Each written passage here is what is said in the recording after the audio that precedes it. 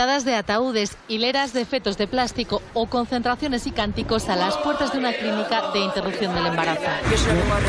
Son acciones que denuncian se repiten delante de los centros. Ahora 62 organizaciones han dado un paso al frente con la campaña Aborto sin acoso para pedir que se tipifique como delito las conductas que obstaculizan, acosan u hostigan a las mujeres. Cuando tú a alguna mujer le estás diciendo que no cometa un crimen, la estás llamando criminal sin decírselo.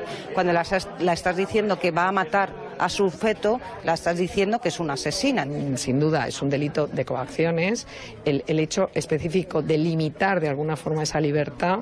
Denuncian que más de 8.000 mujeres se han visto increpadas o coaccionadas. Me han sermoneado, me han enseñado fotos y me han dicho que aquí dentro mueren mujeres. Coger a tu hijo, le van a meter un bisturí, le van a cortar a trozos o con una aspiradora. Piden además que no sean ellas las que tengan que denunciar. Que sea la propia fiscalía, la propia policía la que pueda actuar de oficio. De media aseguran las clínicas sufren al año 100 acciones de acoso y también sus profesionales. Por todo esto piden que mientras que no haya una ley se establezcan zonas de seguridad en el entorno de los centros para garantizar este derecho de todas las mujeres.